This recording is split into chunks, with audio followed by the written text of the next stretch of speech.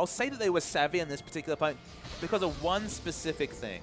In that scenario, when we're looking for the turret dive, Lung though, Oh, that hop did not go far enough. Chain goes down. Flandre turns it in. The ultimate down as well. Not enough there, and Yu claims first blood. yeah, mechanical misplay, the bounce not going over the wall. He needs- Been a lot of four stacks, but Snake are the first ones to break away and give themselves empty land farm. If UP don't get this, that's trouble, but an ulti lands in for Amy. Massive knock up there for Hard. Jinx ulti in as well. Beast almost dies, but Crystal will get headbutted in and go down. Long's going to chase in onto Beast. That's going to be a kill there as well. Flandre dives in, tries to get a kill, does get one, I believe, as they answer back with Heart going down, but the hook not quite there. And Snake, they save the with Frozen out. But Cleaver either as Heart will get caught by Ella. The box Doesn't actually coming ultimate. through. Teleports coming through for both as Flandre diving in aggressive, does get the kill long. Here a little too late, and Snake, they're just going to take the turret and run. Yeah, I mean, they- they don't have ultimate on the Alistar. Well communicated once again in terms of timings. Should be a turret going down uncontested. It's in the mid lane, actually. We see a kill. Yeah, punish. Nice 1v1 there. Finally getting a handle on the matchup here. Got the cooldown boots.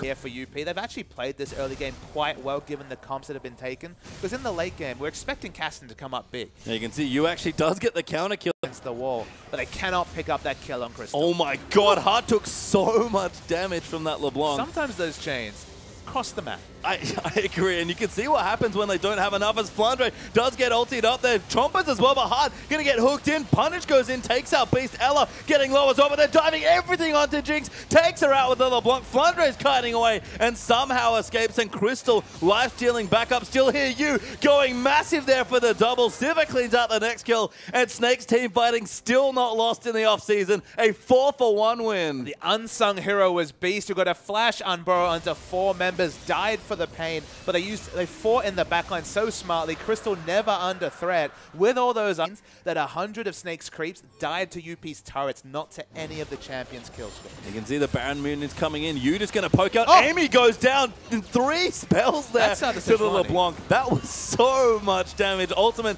bought by Crystal. Flandre It's a chomper. Ella going in. Flandre Bye, going in deep. Finds in onto Sketch and Flandre gets headbutted away, taking both turrets and still alive. Long tries to go in, looks for an ulti, doesn't get it. Ella gets the next one. Punish goes down. Heart dies as well. It's a 5 for 0 for Snake. And that's game. And that extra 100 CS bought them so many tanky sets. Flandre in particular disregarded double Nexus turrets for a good 15 seconds. They're going to power down these turrets, and Snake, the new Snake, is looking pretty damn great. They are indeed. Not really too far where they left off the last season, perhaps even just a step better, but Snake looking strong in their opening game of the LPL season as you stone